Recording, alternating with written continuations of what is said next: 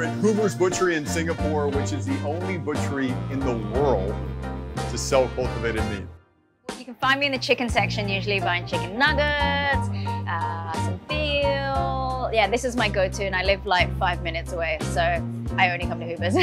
It's my first time actually tasting cultivated meats. I've been following it for a long time. what is cultivated meat? So from what I hear, it's when you actually extract the cells of the chicken and then you grow it. Yeah, it's clean meat. It's clean meat. It's cruelty-free meat.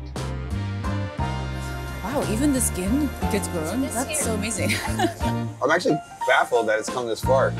What is it like texture-wise, flavor-wise? Do you think it's Honestly, I, I couldn't tell much difference.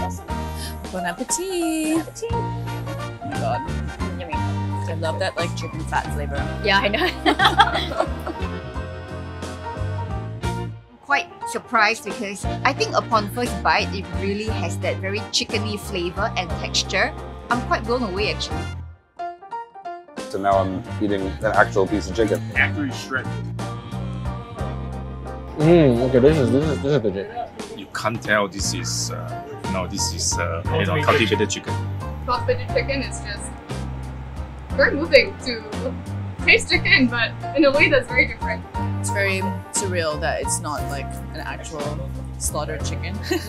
Like I would feed this to my kids because I think they wouldn't be able to tell the difference. I don't have to explain to the kids how I have to kill the animals to get chicken. This would be a good uh, solution for food shortage that we see in the, in the world. I'm amazed. amazed.